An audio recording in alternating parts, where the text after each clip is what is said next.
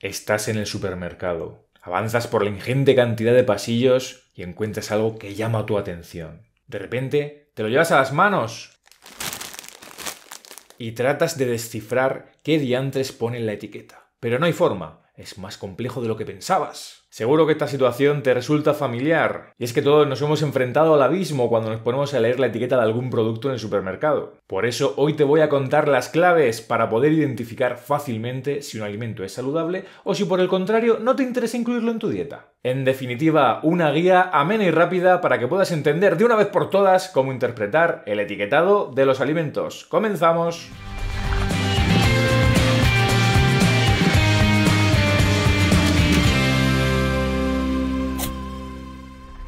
Eres una Dalit de la nutrición, seguramente tengas más que controlada la información que puede ofrecernos el envase de los alimentos que encontramos normalmente en el supermercado. Por otro lado, si estás dando tus primeros pasos en el ámbito de lo saludable, es probable que te asalten muchas dudas sobre la información que encontramos en los envases de los alimentos. La gran pregunta es, ¿podemos distinguir realmente qué información es útil e interesante y cuál es puro relleno? Vivimos en un entorno muy cambiante donde el marketing está continuamente bombardeándonos pa pa pa pa pa con novedades alimentarias. Por ello conviene discernir qué elementos del etiquetado son básicos, es decir, obligatorios por legislación, y cuáles son, pues digamos, paja, relleno, cositas que ponen las empresas un poco para maquillar. Qué conceptos nos interesa buscar y de cuáles tenemos que huir. Si un sello de calidad nos aporta datos útiles o realmente no lo hace. En definitiva, cuál es la información reflejada en un envase alimentario que realmente nos sirve para tomar mejores decisiones de compra. Llegamos al estante del supermercado, cogemos un producto y nos disponemos a leer la etiqueta. Y tachán, la cantidad de información que aparece es sumamente abrumadora.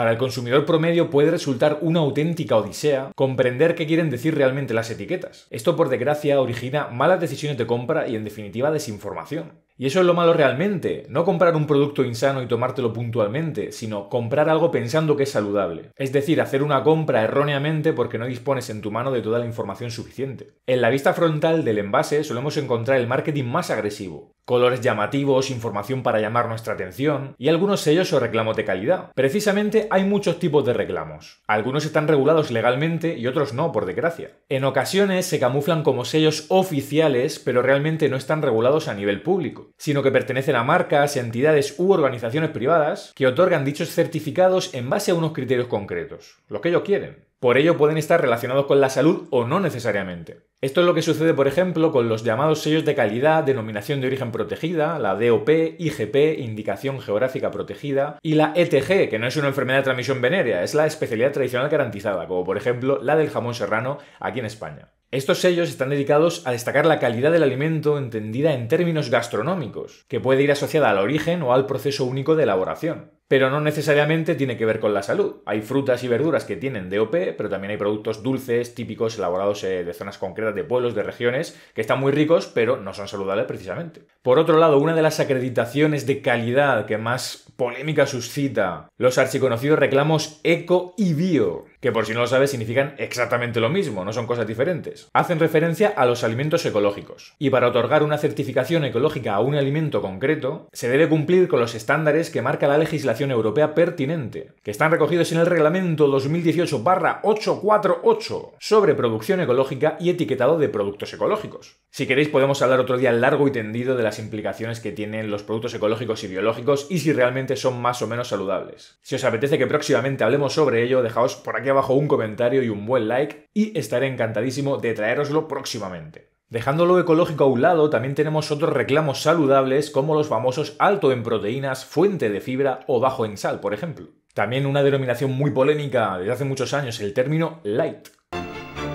Cojo una patata y me la como. Ultraprocesado.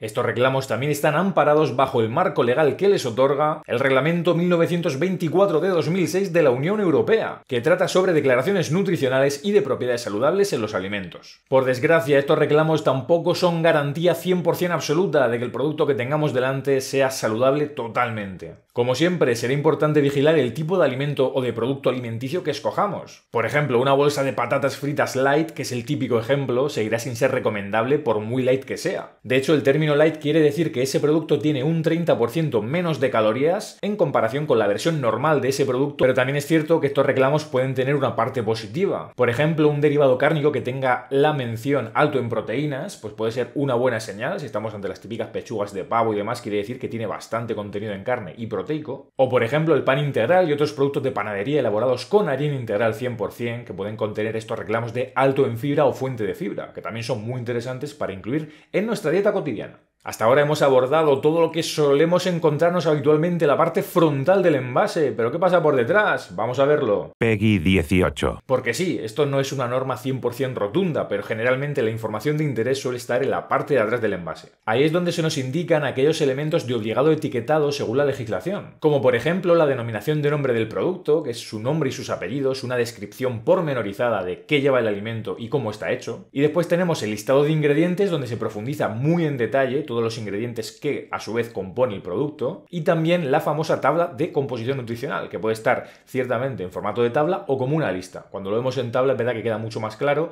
y es el famoso listado que tiene todo el tema de las grasas, de la proteína, de la sal, lo que solemos es lo que solemos mirar en primer lugar también de forma errónea. Ahora veremos por qué. Y es que el listado de ingredientes debe ser lo primero que miremos cuando nos enfrentemos a un etiquetado. El motivo es que allí podremos encontrar el origen real de las materias primas que componen el producto. Por otro lado, si acudimos a la tabla nutricional donde aparece toda esta información de grasas, hidratos de carbono, proteínas, azúcar, sal, solamente veremos números y nutrientes, es decir, no sabremos de dónde vienen exactamente. Ojo con esto, no quiero decir que no haya que mirar la tabla de composición nutricional, por supuesto es muy interesante, sobre todo porque nos permite conocer las cantidades exactas de nutrientes que contiene el producto. Esto en ciertos contextos de dietas pautadas por profesionales pues es muy útil. Por otro lado, para el común de los mortales que no tengan una situación específica concreta donde necesiten una dieta, es verdad que puede ser información confusa y que realmente no aporta mucho. Porque una de las taras que tiene esta tabla de composición nutricional es esa, que no permite conocer el origen ni la calidad de las materias primas que componen el producto alimenticio. Por ello, siempre será mejor acudir raudos y veloces al listado de ingredientes antes que ponernos como locos a ilucubrar grandes cálculos matemáticos para saber, por ejemplo, la cantidad de azúcar que tiene un producto. Porque sí, esto es otro de los problemas que plantea la tabla de composición nutricional. Es una de las taras, por ejemplo, que tenemos hoy en día según la legislación.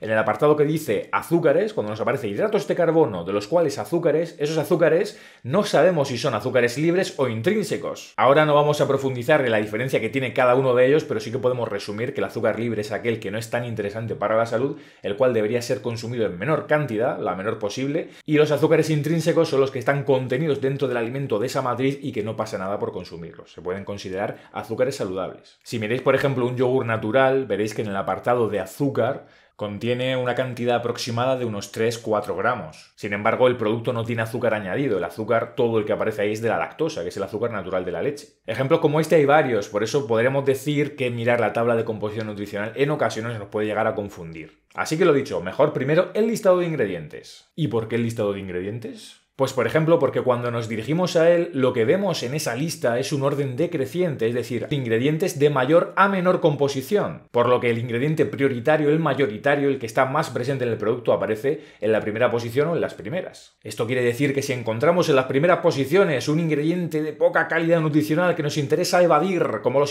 digo, como el azúcar, la sal, los aceites o las harinas de baja calidad nutricional, entonces estaremos ante un engendro comestible más que un alimento. Otra particularidad muy interesante es que aquellas materias primas e ingredientes que aparecen resaltados en la portada del alimento deben indicar obligatoriamente el porcentaje que representa ese ingrediente dentro del listado del producto. Pero ojo porque no solo se aplica para las menciones en texto, sino también cuando vemos imágenes o ilustraciones. Las típicas sugerencias de presentación que nos ponen ahí un plato muy bonito con las patatas fritas, con la cebolla, eh, con las aceitunas, pues todos esos ingredientes que están representados, según la legislación, debe aparecer su porcentaje en el listado de ingredientes que vemos por detrás.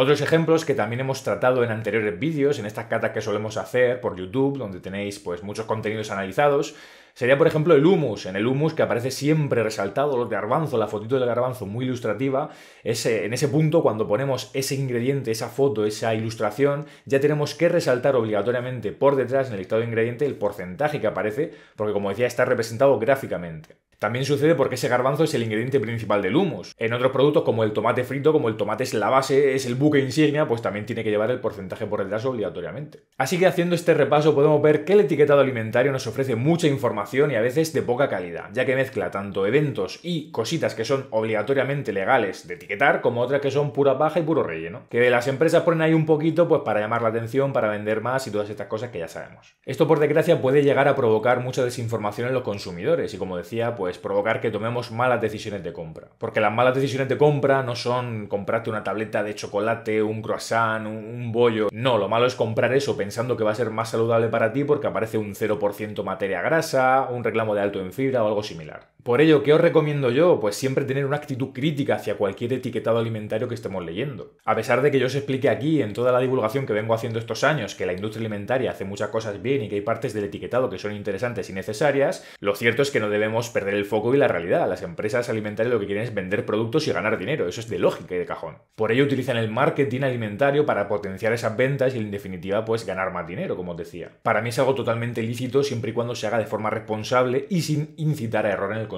por supuesto. Ahí ya entra en juego la ética y la moral de cada empresa y cómo esté implicada respecto a la divulgación científica. Teniendo esto claro y siendo consciente de que no tenemos todo el tiempo del mundo para andar por ahí en el supermercado leyendo todas las etiquetas, lo cierto es que si sacamos un poquito de tiempo resulta muy enriquecedor poder comparar entre diferentes productos a través de su etiquetado nutricional. De esta forma quizá descubras algunos productos que consumes tradicionalmente, habitualmente en tu casa, que no son tan saludables como pensabas. Recuerda que como consumidores tenemos un gran poder a la hora de escoger qué productos echamos a la cesta de compra. Cuando escogemos una marca frente a otra, un tipo de producto frente a otro, estamos favoreciendo un sistema de producción concreto, el de esa marca. Por otro lado, si dejamos de comprar un producto que no nos gusta o que no encaja con nuestra rutina de alimentación, la empresa dejará de fabricarlo a largo plazo, ya que no habrá una demanda de ese producto. Así que mi último consejo de hoy es que no subestimes tu potencial, el potencial que tenemos los consumidores con nuestras decisiones de compra. Y hasta aquí el vídeo de hoy, querida gente, queridos amiguitos, muchas gracias por haber llegado hasta el final. Si os ha gustado, os agradecería enormemente que dejarais un like así de gigante, así de enorme, cualquier comentario, cualquier cosita, y nos vemos en el próximo vídeo con más divulgación científica sobre alimentación. ¡Chao!